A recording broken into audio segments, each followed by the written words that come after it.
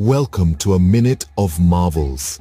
Today, we're delving into the world of the northern raccoon. Fact number one, these creatures are not just cute, but clever too. With excellent problem-solving skills, they can remember solutions to tasks for three years. Imagine that. Moving on to fact number two, these raccoons have a unique habit of dousing their food.